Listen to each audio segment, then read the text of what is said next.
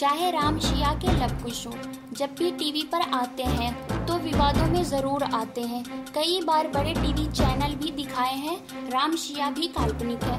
इसका एक उदाहरण कलर्स पे आ रहे उसके डिस्क्लेमर में लिखा है ये, राम शिया के लव कुश। राम और सीता के दोनों पुत्रों की श्वेता को खोजने तथा अपने माता पिता को एक साथ लाने की कथा है। यह एक काल्पनिक धारावाहिक है। जिसका निर्माण केवल मनोरंजन प्रदान करने के उद्देश्य से किया गया है।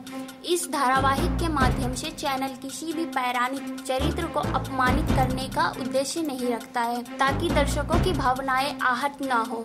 साथ ही इसमें दर्शाए गए किसी भी घटना की तथ्यात्मक सत्यता का दावा नहीं करता है।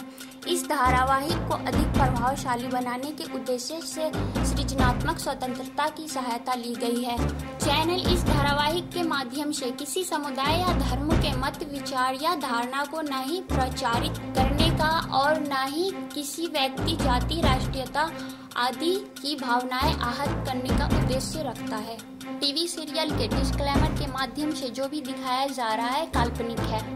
इसीलिए इस पे इतना विवाद नहीं होना चाहिए। अगर आपने अभी तक हमारा चैनल सब्सक्राइब नहीं किया है तो सब्सक्राइब करें और घंटी का बटन दबाना ना भूलें ताकि सभी लेटेस्ट खबरें पहुँच सकें आप पे सबसे पहले।